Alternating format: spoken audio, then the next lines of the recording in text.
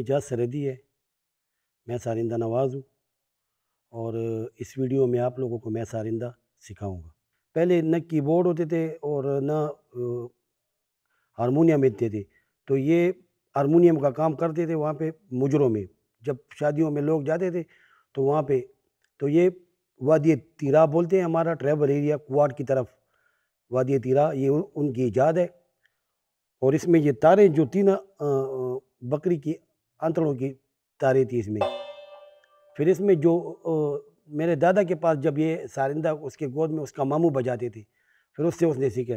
तो ये जब मेरे दादा के पास आया तो इसकी जिद्दत ये की कि इसमें स्टील की तारें डलवा दी और इसका आवाज़ जो ये ऐसे हो गया वैलन की तरह पतला हो गया इसका। पहले वो जब बजते थे तो ला पंजाब वाले वो सारंगी की तरफ़ बजते थे। ऊँ ऊँ जैसे वो करते थे ना, वो वैसे बजते थे। इसमें तेईस तारे हैं। ये दूसरे सफ़ेद पे मिलाना पड़ता है। ये छठे सफ़ेद पे मिलाना पड़ता है और ये तीसरे सफ़ेद पे मिलाना पड़ता है।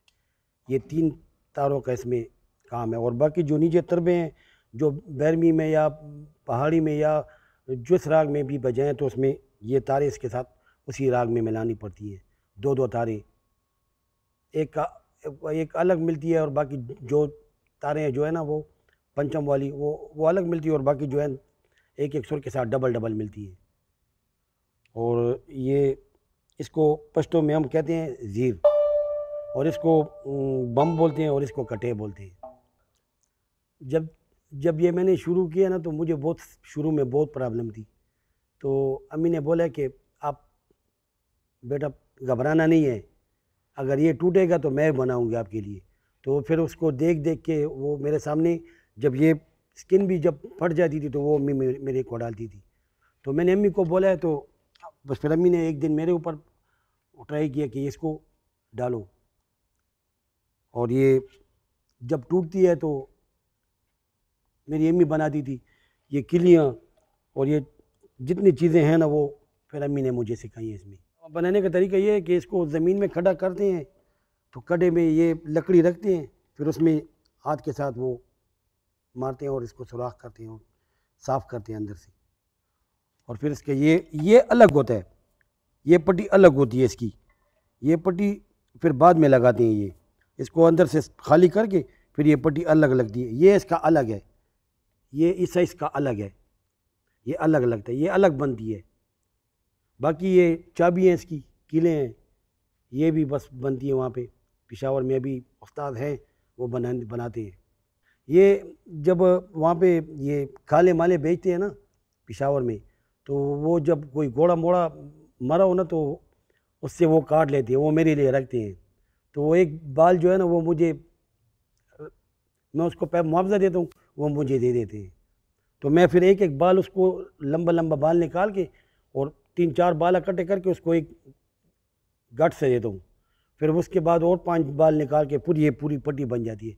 फिर उसे तार लपेट लेता हूँ तार लपेट लेता हूँ फिर इसके अंदर सुराख इधर, अंदर लेकर आ जाता हूँ। अंदर लेकर आ जाता हूँ, फिर जब इधर भी सुराख की हुए इधर एक लकड़ी लकड़ी लगा लेता हूँ एल के साथ। तो नीचे भी जो सुराख है, फिर उसके साथ बाँध लेता हूँ। तो ये टैट हो जाती है। सारिंदे के रखने का सही तरीका मैं आपको बता रहा हूँ कि सारिंदे को गोद में रखने कैसे ऐसे गोद में रखेंगे और ये अंगूठा यहाँ पे रखेंगे और ये तारों के ऊपर हाथ आएगी आपकी और ये स्टिका पे पकड़ेंगे। सबसे पहले मस्ट जो है ना, सरगम मस्ट है इसमें। अगर तू सरगम पक्का नहीं करेगा ना तो कोई गाना आप नहीं बजा सकेंगे और नहीं सुना सकेंगे। उसको पहले सरगम पे प्रैक्टिस करना चाहिए। सरगम ऐसे पक्का कराएँगे कि बस दो दो तीन तीन घंटे इस पर एक एक सरगम पे लगाएगा। मैं आपको दो सुरों के साथ शुरुआत करवा हूँ। आप इसको साथ मेरे साथ बजाएँ।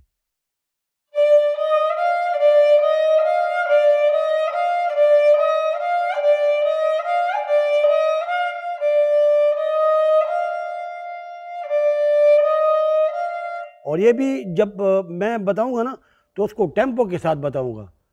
सारे गा सारे गा ये तो अगर मैं इसको बताऊँ तो उसको टेंपो दिमाग में ना हो तो फिर तो मेरा वो सारा जो मेहनत है वो तो ज़ाय हो जाएगा।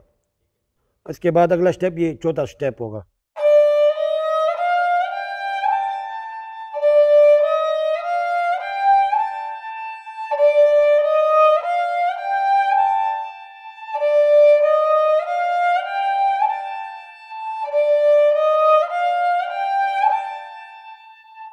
उसके बाद वाला स्टेप ये।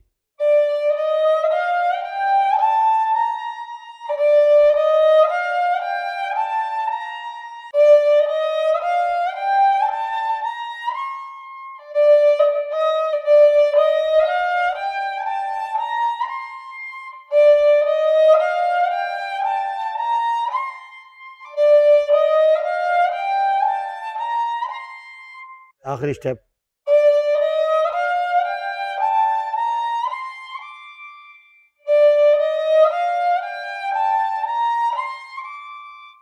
इन्हीं सुरों के साथ मैं आपको एक गाना सिखा हूँ घर आया मेरा परदेसी। तो मैं थोड़ा थोड़ा उसको पीसीजों में बताऊँगा। शुरू के टाइम पे थोड़ा पीस बताऊँगा कि उसके हाथ में ये पीस तो पहले आ जाए ना, इसका शुरुआत।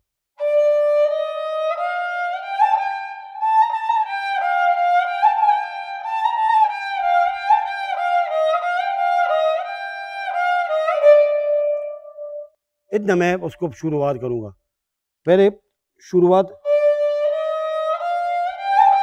इतना पहले इधर से शुरू लूँगा कि ये इतना बजाए।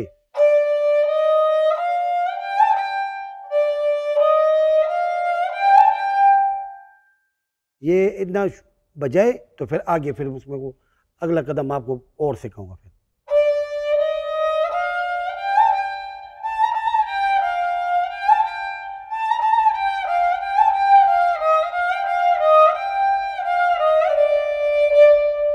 ये पीस के बाद फिर आस्था ही शुरू हो जाएगी। आस्था ही शुरू करवा देंगे। जो मैंने आपको हिस्सों में बताया तो उसको इकट्ठा करके आपको आप बजाएँगे कि परफॉर्म कैसे करना पड़ता है।